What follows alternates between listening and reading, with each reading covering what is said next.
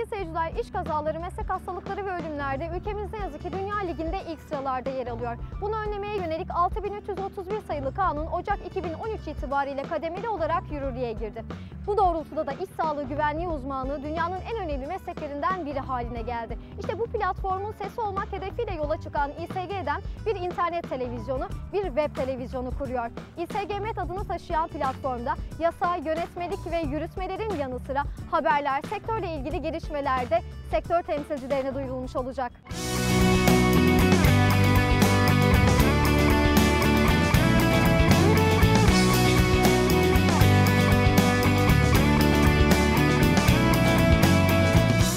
yılı aşkın sağlığı güvenliği üzerine mesai harcayıp yasaların bugünkü şeklini almasında katkı sağlayan A sınıfı iş güvenliği uzmanı Mesut Toraman, 2007 yılında Bursa'da kurduğu İSKDEM'le ilgili bakanlıklardan aldığı belgelere dayanarak iş sağlığı güvenliği hizmetleri, ilk yardım, enerji yönetimi, iş güvenliği uzmanlığı eğitimi, iş yeri hekimliği eğitimi gibi kapsamlı bir hizmet profiliyle sektöre yön veriyor. İnsan hayatı, çalışanların yaşamı bizim için son derece önemliydi. Bu bizim e, hayat felsefemiz bir ölçüde. Ancak 2003'ten sonra e, Türkiye'de Avrupa Birliği'nin e, uyum yasalarıyla beraber güzel bir kanunumuz geldi. 4857 sayılı iş kanunu. Onun 77'den başlayan 105. maddeye kadar devam eden iş sağlığı güvenliği ilişkin hükümleri vardı. Ancak e, pek yol alamadık.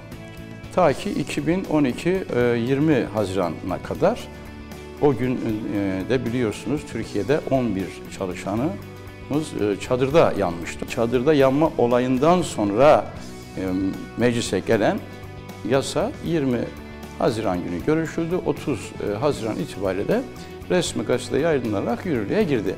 Şimdi yeni bir dönem bu 6331 sayılı kanun. Çünkü Avrupa'da e, müstakil bir iş sağlığı güvenliği kanunu olmayan tek ülkeydik.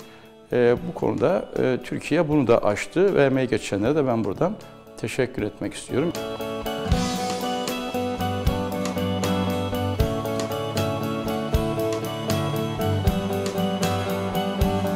...6331 sayılı kanunla genişleyen kapsama dikkat çeken Toraman, herkesin üzerine düşen sorumluluklarını yerine getirmesiyle amaca ulaşılabileceğini dile getiriyor. Bir sigortalısı olan bir e, işveren artık 6331 sayılı kanunun e, tüm sorumluluklarını yerine getirmesi lazım.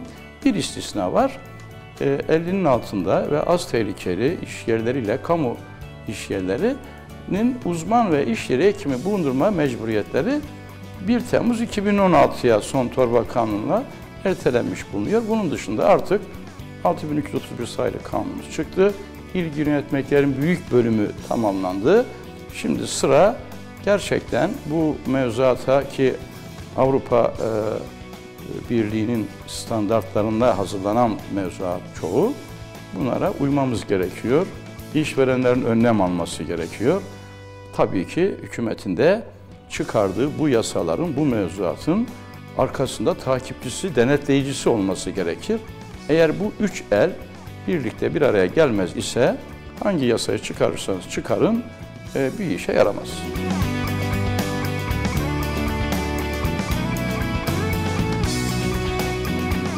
Mesut Toraman, kimlerin iş güvenliği uzmanı olabileceği sorusuna da açıklık getiriyor. Mühendis, mimar, teknik öğretmen, fizikçi, kimya, yer, biyolog, e, iki yıllık yüksek okul mezunları var, iş sağlığı güvenliği teknikerleri. Bunlar olabiliyor. Bir de en son geçen yıl 2 Ağustos'ta torba kanunla e, SSK'daki e, teftiş yapan müfettişler de artık uzman olabilme hakkını elde ettiler. 100 bine yaklaşan uzmanın büyük çoğunluğu bakanlığın yetki verdiği kurumlarda 220 e, saatlik eğitim sonrası yine bakanlığın yaptırdığı sınavlarda 70 veya daha fazla puan alarak A, B, C belgelerine kavuştular. Gerek hekimlerin gerekse iş güvenliği uzmanlarının sahada karşılaştıkları sorunların üstesinden gelebilmeleri aldıkları eğitimlerle doğru orantılı.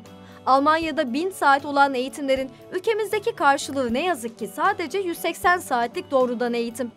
Bu yetersizlik Mesut Toraman'ı OSGB MED'i kurmaya yöneltiyor. 4000 üzerinde uzman arkadaşlarımız bizden eğitim gördüler. Hepsinde benim telefonum var.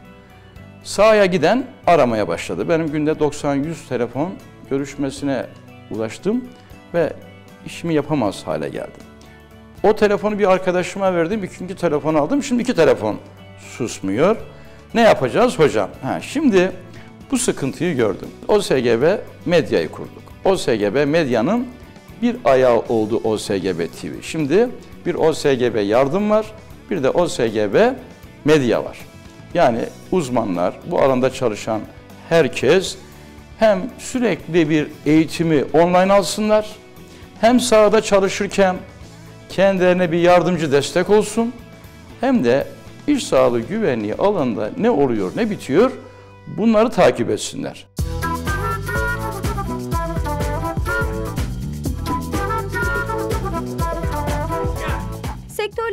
Tüm gelişmeler web televizyonundan an be an takip edilebilecek. Ne var bugün? Acaba Sayın Bakanımız, Sayın Genel Müdürümüz ne söylemişler? Sayın e, köşe yazarlarımız gazetelerde, kö- köşelerinde neyi gündeme getirmişler? Ya da bugün torba kanundan ne çıktı? Her gün bir şey çıkıyor. Bir, özellikle iş sağlığı güvenliği ile ilgili. Ya da nerede ne kaza oldu? Bu, bu konuyla da güzel örneklerimiz de var. Hep kötü haberleri değil. Haberdar olacaklar. Mesut Oraman, OSGB TV'de içeriğin online eğitimlerle sınırlı tutulmayacağını da altını çiziyor. Eğitimi OSGB TV'den online alacaklar. Bazı eğitimler yalnız online olmayacak. Orada duyurularımız olacak.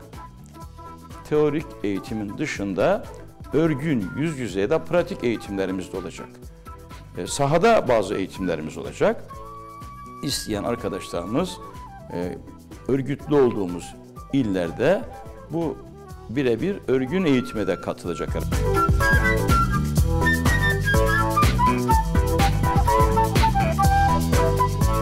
Karşılıklı etkileşime açık bu interaktif platformun bugün itibariyle 7000 üyesi bulunuyor ve sayı her geçen gün artıyor. Hedefimiz 1000 OSGB ile biz birebir online ve onların sahasında birlikte çalışmaya talibiz. Siz bu alanda çalışıyor iseniz örgütleneceksiniz.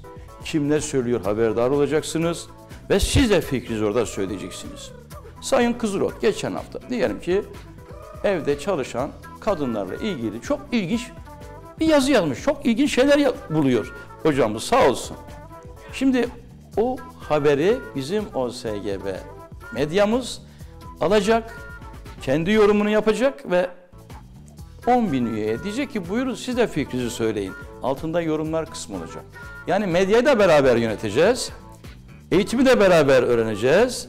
Sahada da beraber çalışacağız. Gönlüm, arzum şu OSGB MED'de 40 yıllık deneyimimi, yaşadıklarımı, ça- eziyet, çektiğim eziyetleri paylaşayım. Tüm iş güvenliği uzmanlarını örgütlü olmaya davet eden Mesut Oraman, sektörün iş gücüne dolayısıyla da ekonomiye katkısının altını çizerek sözlerini noktalıyor. Bu başarılı çalışmalar yapılırken insanlarımızın göz göre göre önlem alınmadığı için, denetim yapılmadığı için çalışanlarımızın da bunu umursamadıkları, dikkate almadıkları, kader diye geçiştirdikleri için yılda 1500'e yakın insan. Son 10 yılda 15 bin kişiyi kaybettik iş kazalarında, kayıtlı olanlarda.